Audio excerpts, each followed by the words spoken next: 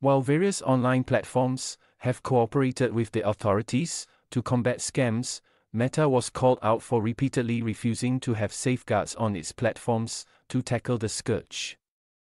At the debate on the Ministry of Home Affairs MHA budget on February 29, Minister of State for Home Affairs Sun Xueling said Facebook Marketplace, which Meta runs, is the only platform, among those rated in the ministry's anti scam safety ratings, that has not implemented the recommended safety features.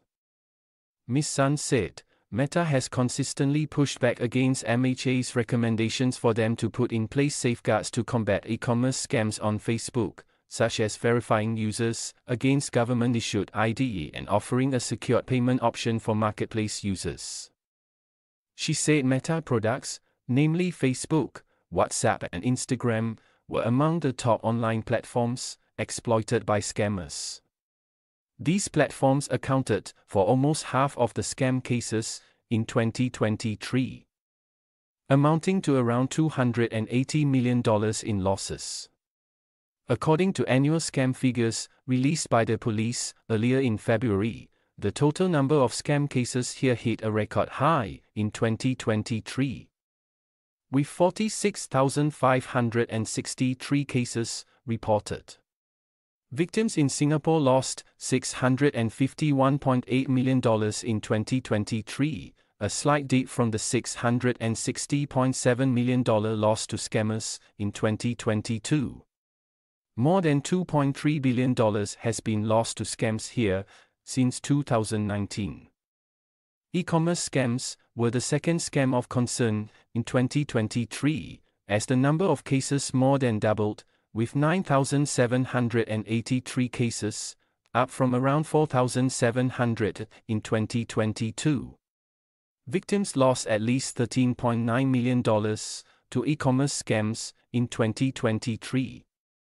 Despite Facebook contributing close to half of the e commerce scam cases in 2023, Meta has not put in place the recommended safety features to protect its users from falling for scams said Ms. Sunday.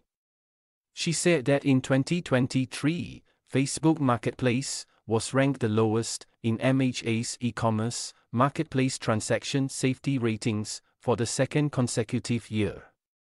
The rating system was launched in 2022 to educate consumers on which e commerce marketplaces have safety features in place to protect users from scams.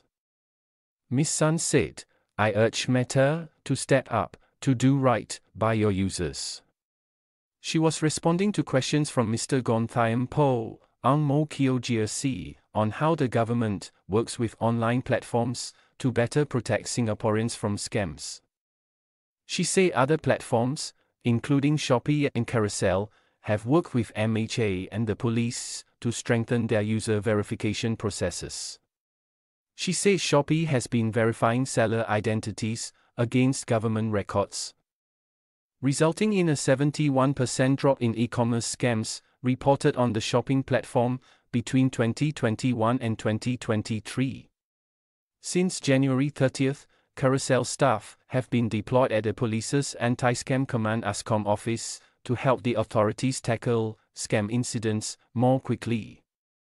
Carousell is the first e commerce platform to be stationed at ASCOM. Previously, only staff from the six leading banks, DBS, OCBC, UOB, Standard Chartered, HSBC and CIMB, and the Government Technology Agency, were deployed at ASCOM. Ms. Sun said having Carousell at ASCOM has shortened the turnaround time for online monikers involved in scams and suspicious advertisements to be taken down on Carousell from days to hours. She added that the government will criminalize the misuse of local SIM cards for carrying out scams and other criminal activities. She said scammers have been using local SIM cards to make scam calls and send text messages.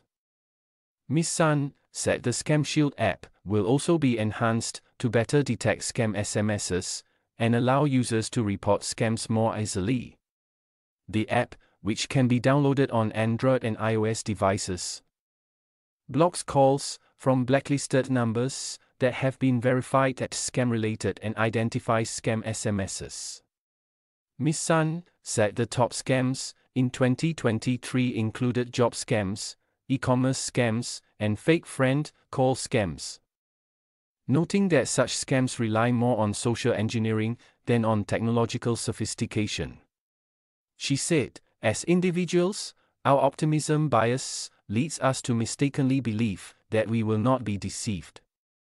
We may also let our guard down, making us vulnerable to our inherent human desire to be loved, to make an extra buck, to seize an attractive looking offer. Ms. Sun added that to boost public education against scams. Anti scam resources will be consolidated into a one stop portal in 2024. The website will include information on the latest scam trends, what individuals can do if they think they have been scammed, and preventive measures to take. Ms. Sun said scams are a big problem, not just in Singapore. She said Australia reported a loss of more than 3.1 billion Australian dollars, 2.7 billion Singapore dollars, to scams in 2022, an 80% spike from 2021. More than 10 billion US dollars, 13.4 billion Singapore dollars was lost to fraud in the United States in 2023, up from 5.8 billion US dollars in 2021. Ms. Sun said, We must press on in the war against scams. In this fight, fellow Singaporeans, residents, and government agencies are on the same battlefront, defending ourselves against bad actors who are out to scam Singaporeans of hard earned money.